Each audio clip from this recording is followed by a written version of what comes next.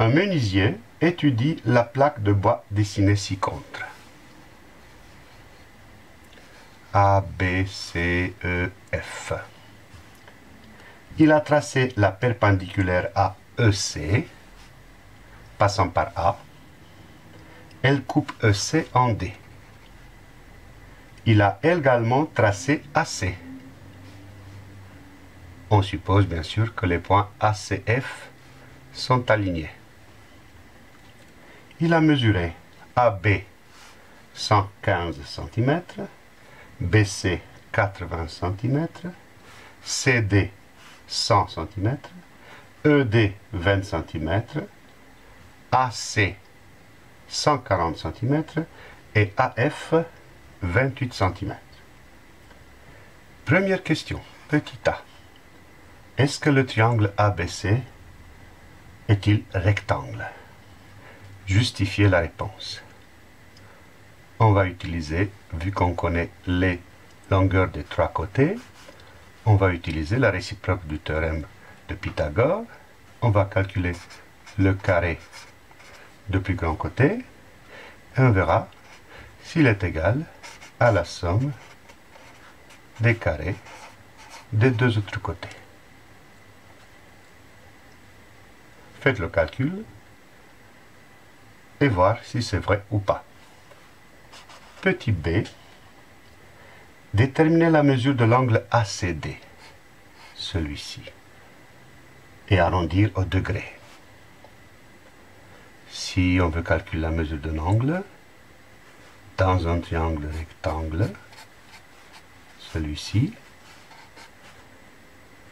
qu'est-ce qu'on connaît? Ben, On connaît le côté adjacent à l'angle et l'hypoténuse. Quelle est la fonction trigonométrique qui utilise cela? Côté adjacent sur l'hypoténuse, cosinus. Cosinus de l'angle ACD est égal, côté adjacent, 100 sur l'hypoténuse, 140.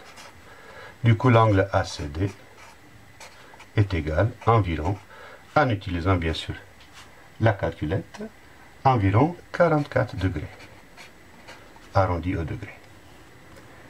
Et pour le petit c, est-ce que les droites AD et FE sont-elles parallèles AD et FE L'autre personnage qui entre en scène, après Pythagore et Cosinus, c'est bien sûr la réciproque du théorème de Thalès. On constate ici que les points A, F, C, C, D, E sont alignés, respectivement sur ces droites et sur celle-ci. On va calculer le rapport CA sur CF, 140 sur 168, et le rapport 100 sur 120.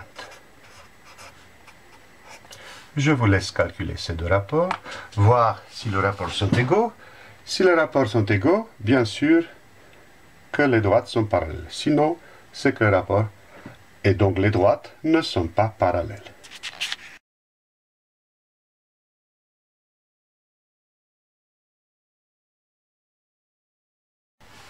Pour la première question, 140 au carré c'est 19 600 et la somme de ces deux carrés c'est 19 625. Autrement dit, le triangle ABC n'est pas rectangle. Pour le cosinus de ACD égale 100 sur 140, pour trouver cet angle environ, on appuie sur les touches seconde, cos, 1, 0, divisé 1, 4, égal ou entrée. Vous avez constaté que je simplifiais 100 sur 140 en 10 sur 14.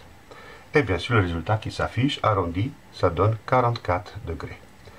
Pour les deux rapports finaux, le 100 sur 120 qui est plus simple, on divise par 10 numérateur et dénominateur, 10 sur 2, et encore on divise par 2, 5 sur 6. Est-ce que la première fraction est aussi égale à 5 sur 6 C'est ce qu'on va voir. 140, c'est 14 fois 2 fois 5. 168, c'est 2 fois 84. Bien sûr, j'ai choisi 2 fois 84 pour avoir le même 2 en haut et en bas, par lequel je le simplifie. Il y a encore du boulot ici, 14 et 84. Mais regardez, le 5, il est déjà là. est-ce qu'on a la chance que 14 disparaisse avec 84 Est-ce que 14 fois combien? Ça fait 84. 14 fois 5, ce qui est là, et en bas, 14 fois, question, 14 fois combien Ça fait 84. Vous l'avez trouvé? Bien, c'est 6. 14 fois 6, 84. On simplifie par 14 et on constate que ce résultat est le même que celui-ci. Les deux rapports en question sont égaux. CA sur CF égale CD sur CE. Par la réciproque du théorème de Thalès, les droites AD et FE sont parallèles. Du coup, la droite FE est aussi perpendiculaire à CE par un autre théorème de sixième.